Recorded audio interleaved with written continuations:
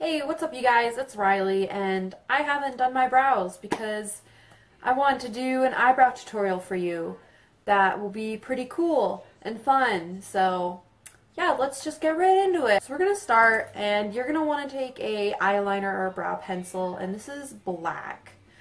And my hair's weird. We're going to start by uh, stenciling out our desired um, arch. And we really want to make it look very defined and high and arched, like almost like a wing. So when in doubt, wing it out. Easy come, easy go. So you might be thinking this is a little too crazy, but no. I think it's going to be really nice and pretty and natural. Like, we're not going to go too far out.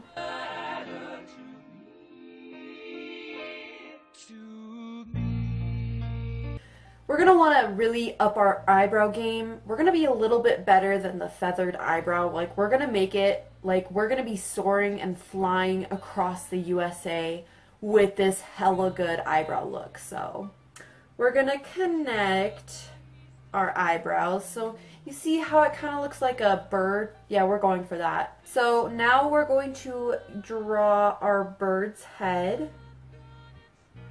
Now since we live in America, we're going to be drawing an eagle, a bald eagle, because we want to represent our country and show our love for the USA.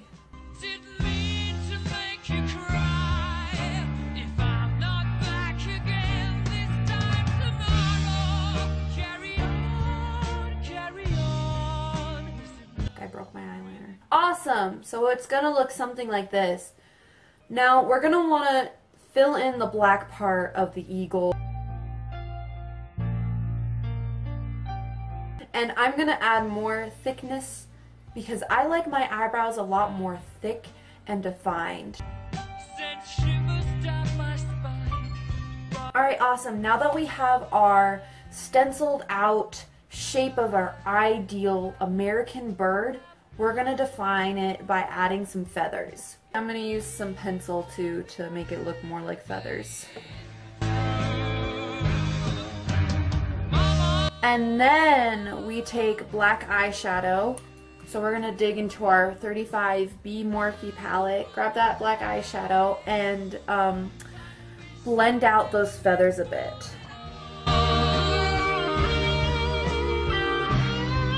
To add some tail feathers onto this eagle to make it look more realistic and a lot more natural. Now we're want to fill in the bald eagle part. So we are going to take a white eyeshadow base and this is the NYX eyeshadow base in white and we are going to fill out that white part of our eagle because it's a bald eagle because America. We're want to set that in with some eyeshadow. Just so it makes it stay put all day because we don't want a messy eagle brow, okay? So I'm to go back into that 35 35B palette and I'm to take the lightest shade which is a white right here and we're to set that white in. So now what we're to do is we're want to draw on the eyes to our eagle. And the eye color can be whatever color you want, but I'm to do blue, like the blue on our American flag to represent our freedom.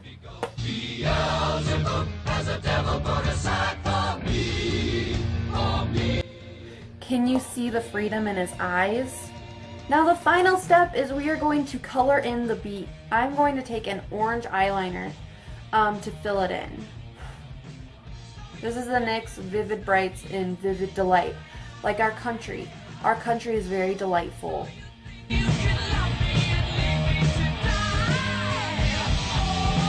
So I'm going to zoom you in so you can look at the final product and give me your thoughts and opinion. I honestly think this would be great for a date, especially if you want to give the first impression to your date that you love America and you represent your country. Oh yeah, I have a special talent to show you because I'm a professional at bird eyebrows.